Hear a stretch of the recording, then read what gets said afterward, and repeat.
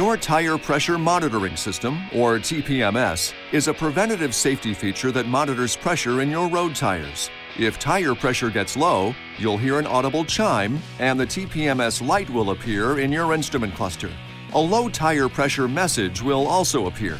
You'll see which tire is underinflated along with all four tire pressure values. When these warnings appear, you'll need to inflate your tires to the manufacturer's recommended tire pressure. You'll find that information on the placard on the inside edge of the driver's side door. Even if the light turns on for a short time and then turns off, your tire pressure still needs to be checked. Remember, tire pressures change with air temperature change. Keep that in mind when you check tires inside a garage, especially in the winter. Tire pressure may increase from heat during operation. Do not reduce this normal pressure buildup or your tire pressure will be too low. Here's an important note though. Do not try to use TPMS as a tire pressure gauge, as the warnings do not automatically turn off when proper pressure is returned to the tire. Once your tires are properly inflated, you might need to drive a bit to reset the system.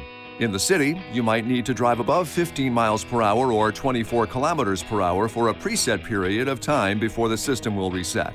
The warnings might stay on, however, until all tires have been properly inflated. This video is not intended to take the place of your owner's manual.